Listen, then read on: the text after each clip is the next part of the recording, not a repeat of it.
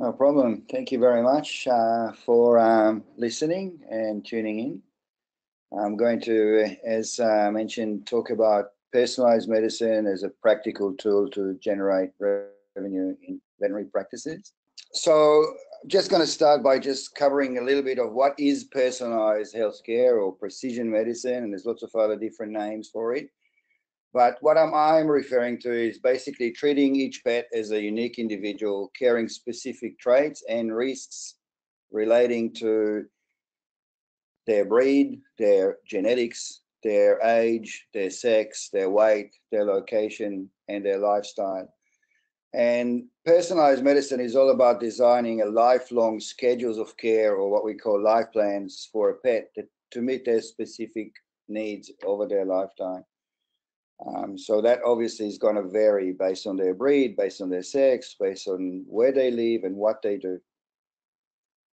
And it allows healthcare to really focus on prevention and early detection of disease, leading to more effective management and better clinical outcomes of patients. So um, we're no longer treating a dog as a dog, we're treating an individual based on their own individual um, traits. Um, so the big picture is in, in, in, in personalized medicine is really about identifying risk that are specific to that pet, collecting relevant information from the owners, um, and there's a big focus on information coming from the owner about their lifestyle that does affect the risk of that individual pet. And then building a screening um, that is appropriate to that risk. So if we identify that a dog is predisposed to um, heart disease and how are we going to screen that dog. Um, and then monitoring the trends because some of these will require lifelong sort of um, monitoring and uh, and screening and then continuously refining that process so that risk is going to obviously going to change over life and and over a sort of certain lifestyles and if we know certain things in advance, for example, we have now diagnosed hip dysplasia because we we screen for it, then how do we manage that and how do we continue to screen for that or at least you know have a scoring system for how we're going to manage that condition. So it's kind of a an evolving cycle throughout the lifetime the lifetime of the pet. And as veterinarians, we really had challenges in making that happen. So the, the idea that we treat every pet, you know, as an individual is great in theory, but there's lots of challenges to that. Um, and I'll just touch on a few points of why personalized medicine, as much as we want to implement it, has been quite difficult for veterinarians to do. So really, one of the main things is that the veterinary clinical diagnostic approach hasn't really changed in over you know 75 years. We are trained to be problem solvers. Most of the uh, appointments that we see, other than routine sort of vaccinations, is is problem is is solving problems. So we've been programmed to collect information, do a physical exam, uh, take some history from the patient, and then make a differential list, and then kind of formulate a diagnostic plan and a treatment plan for that pet, for that individual um, problem that is we're facing with right now. Uh, with personalized medicine, we're actually trying to reverse that and focusing, you know, the uh, the attention on prevention of disease. So, um, in the human world, you know, it's uh, nobody really gets excited anymore about diagnosing the diabetic, as some veterinarians do. It's actually considered a failure because we've missed that pre-diabetic state where we actually had more treatment options. So focusing our, our uh, it's it's actually we're never going to get to a point when there's going to be no problem solving, but uh, if we're going to focus more on prevention and early detection, then we'll, we are going to, in the long term, get better outcomes for our patients. So what do we need to consider? Uh, um, so let's consider a breed, for example. We said that's one of the components that we need to consider and why it can be a bit problematic for veterinarians is if we look at um, the, the German Shepherd dog, for example, we know it's high risk of developing certain diseases like cardiomyopathy or bloat or hip dysplasia. And we also know that this risk is going to vary with age and weight and sex and so forth. But the German Shepherd is also prone to developing, you know, probably over 50 other different genetic conditions that um, we're not uh, always thinking of. And so which one of these are more important? Which ones are relevant? Which ones are more likely to happen in this patient? And how do you then um, going to confirm that? You know, we can use genetic tests for only about 30% of these diseases. So hip dysplasia, bloat, there, there is no genetic test to um, identify. And so how do the, the challenge we have is how as veterinarians we're going to process and rank and prioritize this into day-to-day -day practice. And of course it gets a lot harder in a mixed breed animal because there are a lot more diseases that uh, we need to consider if we know the breed makeup or you know what is possible in a mixed breed based on the disease mode of inheritance and how do we then go ahead and rank it you know what is relevant you know based on prevalence based on severity um, so um, um, there's um, also confusion about you know what does a, a a breed specific DNA test means. So if we're testing von Willebrand's disease as a DNA test, then um, that test has only been validated for the Doberman and maybe a few other breeds, but it's not uh, been validated for uh, a mixed breed animal. So there is um, a challenge in deciphering these kind of um, genetic test results for a mixed breed animal as well.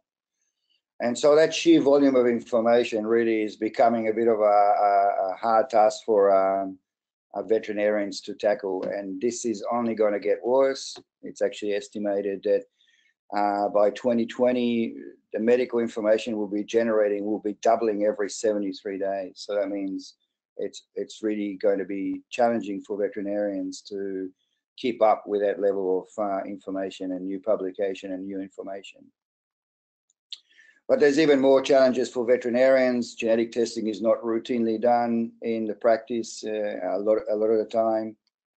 Um, some breeds, uh, the breed identification tests have been perceived as being inaccurate by some veterinarians. Uh, our practice management software is not really designed to record risk accurately. Some of them are, are not even recording breed accurately. And veterinarians really don't have a lot of times to spend with clients to systematically collect, you know, pet-specific information. Uh, it can, I guess, be incorporated into the wellness uh, plan for that dog. But there are opportunities. Um, so despite all of that, there are uh, a lot of advances in this space. Um, and there's a few different um, sort of interacting factors there, but we are uh, having tremendous advances in genomics and bioinformatics. You know, we have a lot more programming interfaces. Uh, there's new companies collecting, you know, pet information and now integrating it with your practice management software. We have biometric, you know, collars that would uh, like the likes of your, you know, Fitbit or PetPace or Whistle that are collecting a lot of biometric information on animals. There is a shift to the you know wellness and prevention sort of programs in veterinary uh, practices, and it's now becoming more, uh, I guess, probable that we can um, start assessing individual risks using a lot of these tools um, that are becoming more and more available in our industry. The the shift to awareness and prevention, I'm going to touch a bit more um, just with some published data, but uh, essentially everybody knows that, um, and, and all the big corporates are going towards uh, wellness plans, although not personalized, but they they are, you know, they could be a dog or a, or a puppy and a senior. So it's kind of getting uh, more traction in the in the veterinary world. Um, so addressing, you know, the, you know, how uh, pet owners can actually plan for the cost of their uh, pet care or to looking after their pet over time has been a major issue. And I think uh, some of the um, wellness plans um, out there are designed to sort of alleviate some of that for pet owners. And there's more tools becoming available to help us, you know, automate that risk assessment tools and screening schedules. Um, and the other good thing is that pet insurance is becoming more widely accepted and veterinarians now starting to realize that that is uh, one of the key aspects to allowing them to practice, you know, better medicine and um, kind of getting that um, cost um, outside of that discussion when we're looking at treatment options for pets. Um, so the key steps that uh, that we need to take when we consider implementing personalized medicine in practice is, is building an individual risk profile using uh, the information we discussed, the, the, the patient's signalment, where they live, what they do, they have pre-existing conditions, um, capturing information from pet owners, and then deciding on the screening schedules that you want to do, actually what type of screening you want to do in your practice, uh, what can you do in your practice, um, and then communicating these benefits to pet owners. So developing some marketing materials that will uh, explain to pet owners why it is that they want to focus on prevention and early detection. It's been um, challenging um, um, as well. So we have to be quite clear in the messaging we, we provide to pet owners. So just a note on the questionnaires for pet owners. Uh, um, there's a couple of different options there. You can use um, um, either forms that you're doing and manually click them in, or there's some companies that offer that. Um, it's baked into um, some of um, other personalized medicine sort of solutions. But in essence, the idea is to try to capture pet owners' issues that are not necessarily being conveyed to the veterinarian at the clinic. Uh, obviously, we're all stressed for time when we have visits in the clinic and it's really hard to cover every aspect of the pet lifestyle and that that you know how it impacts their healthcare um, you know things like other animals in the household you know uh, the environment where the pet is living you know do you go out you know hunting or visiting wooded areas you know do you drink from streams? You know all the diets and the the, the supplements um, that are that are given to clients to to pets. And having clients really play a more active role in identifying you know their their lifestyle you know um, of their pets is um, is a real key in getting um, adherence to recommendations. So clients really want to um, make sure that you are aware of these things and these questionnaires really give them that platform to raise these concerns or mention things and, and sometimes even prompt them to uh, start thinking about you know things that they do with their pet that may impact their um, their health. So the other thing I would say about questionnaires is they're not a one-off thing. They're basically something that you need to continuously review, and uh, we would recommend to have that questionnaire uh, circulated to clients. You know, probably twice a year, depending on the age um, of the dog. So now we have um, collected all that information and uh, we want to um, try to um, get or arrive at a list of what what possible risks are there for that patient so obviously what they do their age their weight their breed all of that would give us an idea of what diseases they might be predisposed to and then we need to start looking at how we're going to prioritize that so once you have a list of you know 10 20 30 diseases depending on the breed or the breed makeup you then kind of want to really um, look at, you know, severity and prevalence, and you will have, you know, a gut feeling of that, but there's information in the literature that is going to help you um, get that. And then really arrive at a probably the, the five or 10 most likely, you know, conditions for that individual. And then build a program around those specific, you know, um, conditions that you know are going to be clinically relevant and are going to be, you know, a risk for that dog. So if you know you have a poodle then or a miniature poodle, you know that, you know, at some stage in its life, heart disease is going to play a factor, and you want to be on the lookout for that. Um, and um, priority is a is a key to try to focus your um, personalized sort of screening and and plan based on those. And so once you have that list of diseases, we now want to see, okay, what are we going to do to screen? What's the best protocols? You know, what's the what's the best way to screen. Uh, do we want that life plan to include all our routine care like vaccinations and um, parasite control? Um, and then creating that lifetime schedule um, to then work with your reminder system to uh, actually communicate the, the schedules to the clients. So this is an example of a combined lifetime lifetime schedule in kind of like a table format, what happens in every stage.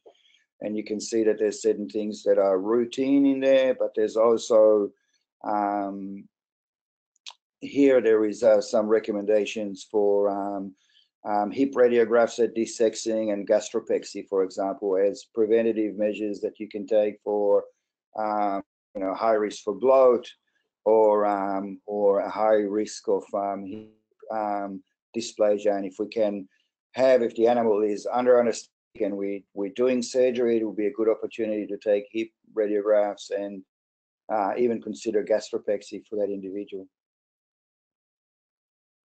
Um, this is just a different example of a lifetime schedule, and you can see that um, every one of those in that particular instance is expandable. And if I look at an adult here, I can see that, you know, there is all the routine sort of elements, you know, at the bottom and on the left, but on the right, uh, they're saying consider elbow x-ray and consider um, checking lumps for a mast cell tumor. So that individual was uh, high risk of developing uh, mast cell tumors and elbow issues.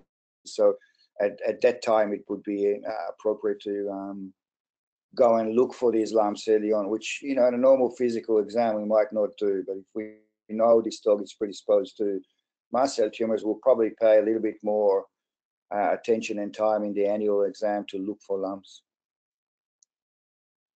Uh, these are just some other examples of um, customizing the program, the, the, the, schedule for that individual. Uh, we want to then discuss it with the owner. And once we agreed on the life plan, it kind of gets into autopilot and it gets in, input, you know, integrated with the reminder system and then they just come in um, um, in the during their um, according to their schedule, if, whether it's annually or biannually to um, to have their routine care, but kind of incorporating uh, the specific screens for their um, identified risks. So this is some of the um, common screening tools that can be used routinely in every clinic and to assess risk and to um, screen and monitor for some of these diseases, we can use um, what we call genotypic tests or tests that are once off. You just look at the, the animal's DNA and you can see if it's predisposed to certain conditions. Uh, or we can use that to identify their breed if we don't know their breed. And there are phenotypic tests. So phenotypic tests are all your you know, urinalysis, fecal analysis, all your path tests, um, you know, radiographs. These are always going to change. They're not fixed, unlike the DNA. And so you would need to repeat those to try to stay on top of things or at least give you the best chance to identify some of these risks early. Um, and then um, um, basically when you start a program like that you want to look at your database and record your baseline so you can have some idea of you know whether that program is having any traction in your practice. So that's a typical sort of um, annual um, um, clinic sort of baselines of some of these routine tests. And you for most clinics you'd be able to extract that from your uh, practice management software uh, there's certain things that you need to define obviously what's a cancer screen, what's a heart screen, that's individual for every practices. For for a heart screen, uh, you know, it could be just a chest auscultation, or it could be a blood pressure measurement, or it could be a, uh, an ECG or radiograph, or even echo. So it kind of depends on what the practice philosophy and what the actual uh, condition is. Uh, but there's certain things that are fixed. Some of them will be a bit more fluid. And once you kind of know what you're going to focus on, you can and you're going to commit to this uh, program or starting to offer personalized medicine in your practice, you want to try to set yourself some targets um, that will uh, kind of help drive that uh, program forward. And that's a typical example of what we can expect in you know, another month uh, to grow. And I'll show you some example of clinics that are um, implementing that in their growth.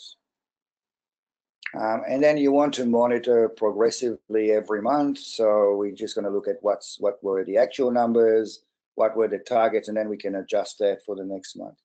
So that's um, kind of um, looking at metrics that will um, help you, you know, understand the the personalized medicine program that you're implementing and and track it. There are a couple of key important um, uh, performance indicators that we use and uh, with practices that have started uh, implementing personalized medicine, uh, we know that um, DNA tests are a good key prognostic indicators for the health of that program as opposed to the health of the. Um, so we know that um, typically in a practice, you know, less than you know one percent of uh, patients will be doing DNA tests. But if you can get that up to two or three percent, and you can see that going to be a big jump in the in the revenue that that would generate. And um, practices that have been doing that for a little while have been are aiming for probably five or ten percent of pets having DNA tests with uh, with their life plans to uh, accommodate that. And uh, and we do know that on average, every pet with one of these life plans will spend an additional four to five thousand dollars in in uh, in screening and um, you know, prevention sort of measures uh, during the lifetime of their pet. Um, so we want to reassess that annually, obviously, and then kind of um, shift the focus to um, more long-term sort of planning.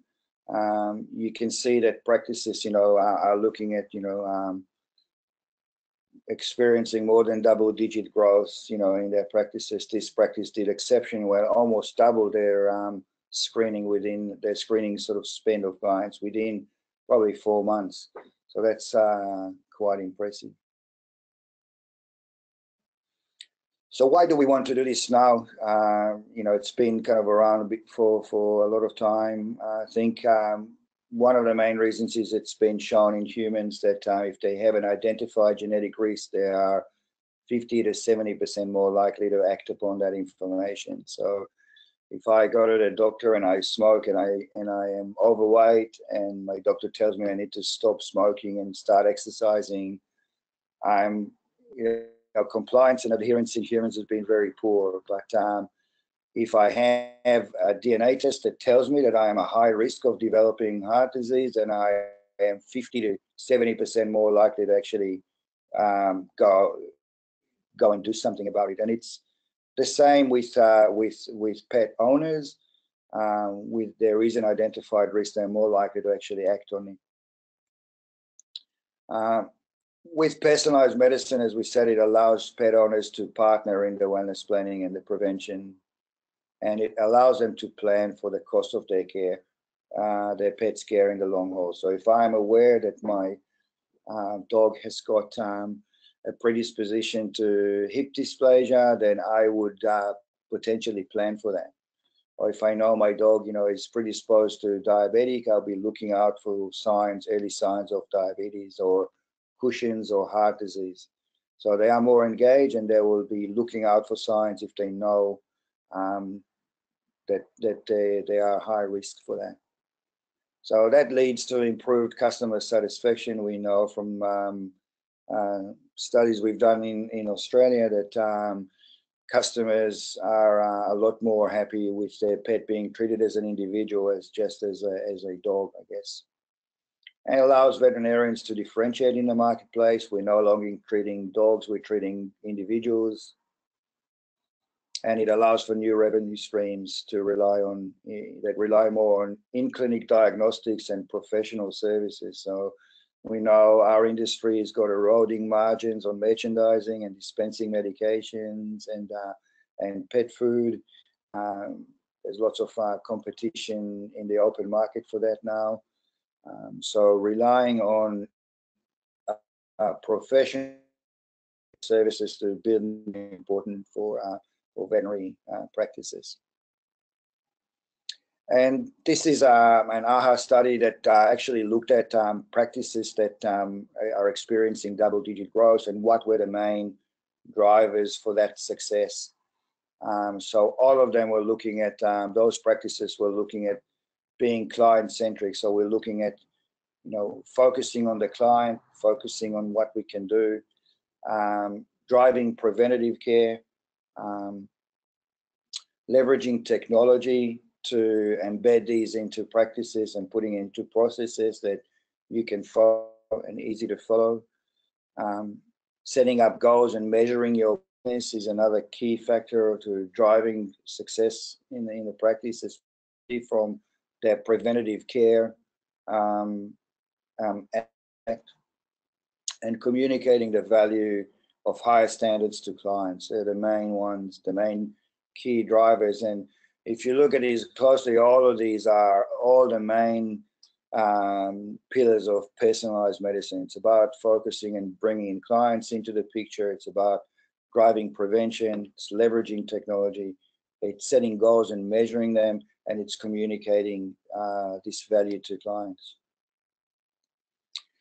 So good risk management, as we call it, or personalized medicine, you know, costs money. And um, it does um, lead to early detection, but, uh, and in the long run, it will save clients money, but um, it, it, does cost them a bit more money in the front end. Um, so when a client, you know, is going to look at that and he's going to say, well, I'm actually going to spend a lot more money at the vet, you know, it's up to us to then um, you know, um, describe the benefits and communicate, you know, why we're doing this. And in the long term, this is really going to save you dollars.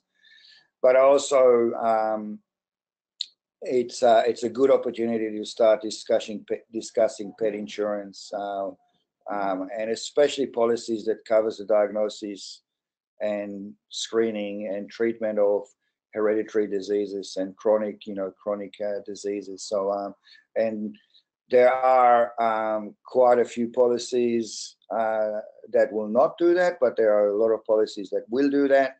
And I guess as veterinarians, we want to help clients select the appropriate policies that will meet their long-term needs. So you don't necessarily need to become an expert in insurance, but you just need to be able to pick a plan that's going to um, cover the needs and cover the, the um, you know, diagnostic treatment of um, hereditary conditions. And obviously there's a lot of those um, out there.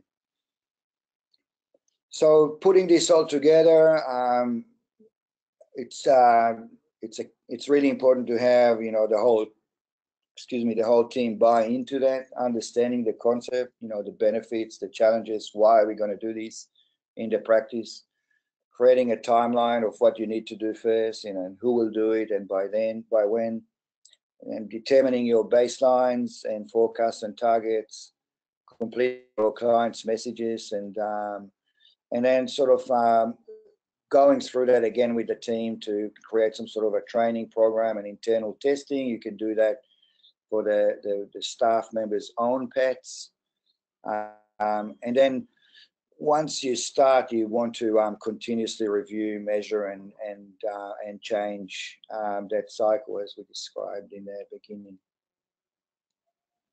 So these personalized medicine concept is really not for every pet. So if you have a farmer who's been growing, you know, uh, raising puppies, you know, or dogs on a farm forever, they're probably not going to be your ideal um, um, client to present this to. So while all pet owners would want to engage in that in that concept, um, there is, um, you know, the universally for for that to be adopted is going to take time.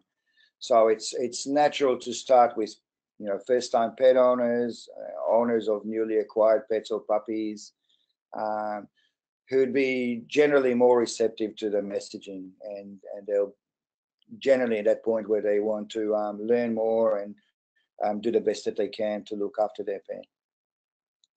Certain market segments are often referred to as pet parents. You know, they're also most likely to be early adopters of this technology and take on board this um, this uh, personalized medicine approach and life planning approach. Um, and there tends to be the same people that you know are looking for that same sort of um, level of medicine for their own health through you know with their own physicians. Um, and once you have these on board, and slowly you can you know expand that to the remaining of the clients in your practice. Uh, generally, thing we we find that um, it's probably the top 20 to 30 percent, depending on your practice location and demographics, that will that will take up something like that. So just setting up the expectations that uh, this is only going to be taken up by you know probably the top 20 percent of your clients, rather than you know expecting everyone to take that and then um, I guess being disappointed. So setting realistic expectations for this kind of uh, program in the practice is uh, is important.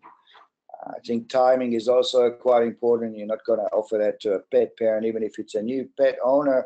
If the pet has just been hit by a car or um, is is coming in after some sort of trauma, you have to uh, obviously do that when you're talking routine care.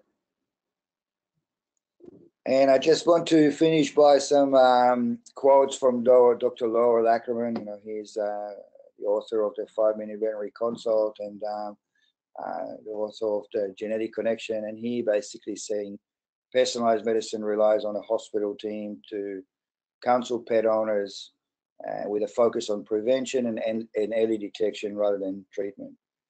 Uh, teams will use genetic and non-genetic tests as well as input from pet owners to appreciate risk factors in an individual animal and then make recommendations accordingly. The combination of the team's effort is the life plan or that schedule that we talked about uh, of recommended interventions over the pet's lifetime. Um, it is um, hospital teams working closely with pet owners that will successfully drive personalized medicine and its benefits in the practice. So I couldn't agree more with these uh, with these quotes. It is a team effort, um, and you need to have everyone in the practice sort of kind of sing the same song um, to make that work. So I've listed here um, some useful resources that would help um, will help you look at um, assessing risks, um, looking at breed specific sort of um, information, um, there is there's a lot of information uh, that is serious that will help you look at what's out there, the publications. You can also use some fun quizzes to spark interest in the in the practice, and I've listed a couple of uh, uh, cute sort of links that you can follow. Um, and um, there's some commercial partners there that um, you can look at that um, offering turnkey solutions to uh, to implement these kind of um, um, personalized medicine solutions in your practice.